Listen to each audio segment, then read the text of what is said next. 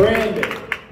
I think people need to stop romantic criticizing. and what that means is get the, I don't want to get my hopes up, right? So don't start, when you see someone attractive across the room, we have this little voice in our head saying, yeah, they're good looking, but they're probably conceited. Or, uh, they're probably uh, not that interesting. Or, oh, you just start criticizing them. Get out of your head and just make it in the real world and put yourself out there. So we got to stop the romantic criticizing and do more of the romanticizing.